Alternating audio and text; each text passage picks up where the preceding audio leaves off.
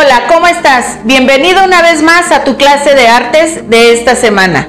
Pues bien, recordemos, la, la, actividad de la semana pasada fue haber trabajado tu escala de grises en seis tonalidades. El siguiente paso es trabajar el círculo cromático con los colores primarios. Para esto te voy a ir explicando el procedimiento. Este círculo cromático, ¿sí? Nos van a marcar nuestros colores primarios que es el rojo, el amarillo y el azul.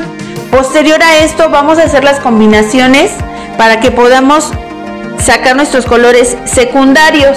¿Cuáles son los materiales? Tus materiales de trabajo son tu bloc, tus pinturas acrílicas, que en este caso son lo, los colores básicos que ya te había pedido, el rojo, el azul, el amarillo, tu pincel o si es posible lo puedes trabajar también con los dedos. A mí me gustaría que fuera, eh, que lo trabajaras con la yema de tus dedos.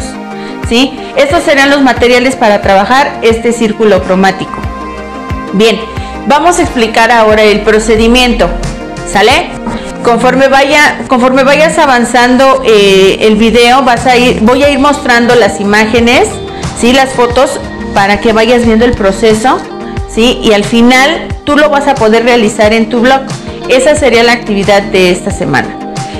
¿Qué es lo primero que vamos a realizar? Vamos a trazar en nuestro blog, así como lo muestro, ¿sí? un círculo. La circunferencia tiene que abarcar todo el ancho de tu hoja de blog.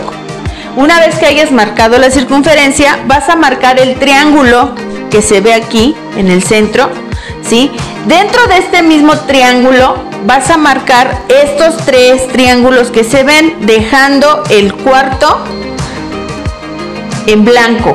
Este nunca se va a ocupar. El primer triángulo, ¿sí? Lo vamos a marcar con el color rojo. El segundo triángulo con el color azul y el tercer triángulo con el color amarillo. ¿Estamos?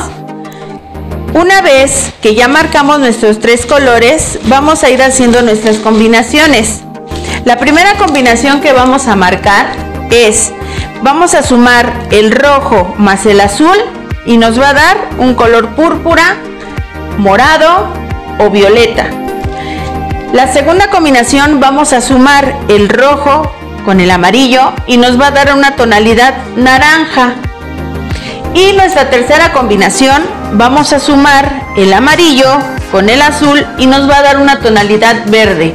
Debo, agregar que las tonalidades del verde y del púrpura pueden variar porque eh, de acuerdo al tipo de azul que utilices, yo utilicé el color azul cielo, por eso es que el púrpura me salió un poquito más claro, ¿sí? Y el verde, si se dan cuenta, tiene una tonalidad entre verde y menta, pero finalmente es verde. Esto va a variar de acuerdo a los colores. Si tú utilizas un azul un poquito más neutral, la tonalidad va a subir, pero no va, no, no va a salir ni va a variar ¿sí? el color púrpura o el color verde.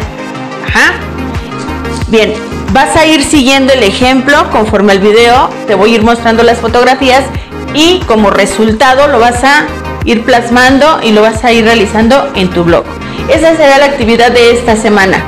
Esperando que en casa sigas apoyando con el desarrollo de actividades. Igualmente tú, papito y mamita, que nos sigan apoyando en la entrega de trabajos.